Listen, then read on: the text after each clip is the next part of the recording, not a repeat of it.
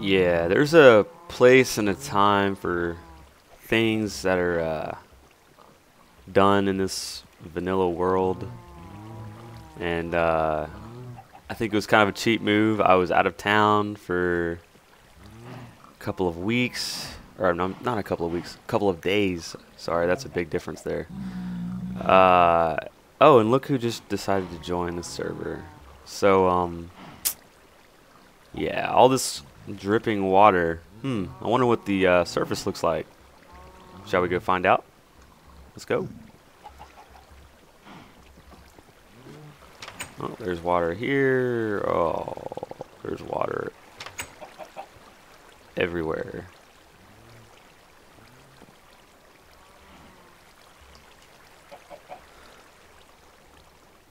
Uh,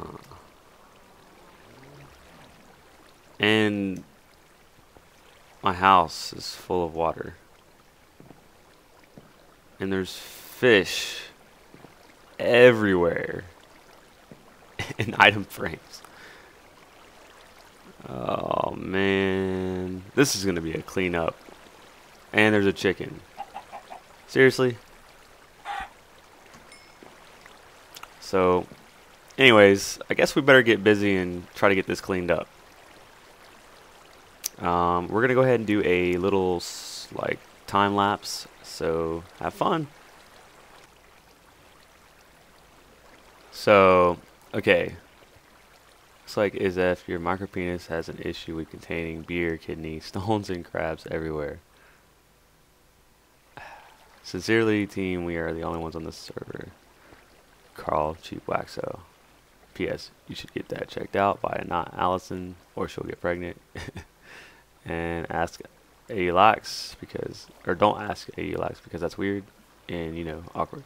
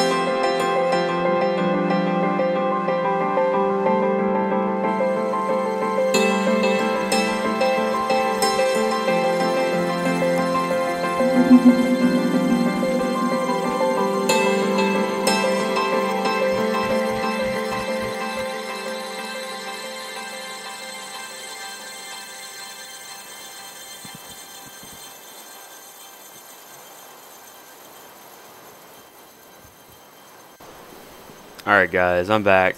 So I think we pretty much got rid of everything. Let me just check. Alright, I don't see any water. I think we're good. Let me go ahead and just remove these things because I think they were trying to be polite and not ruin anybody else's property.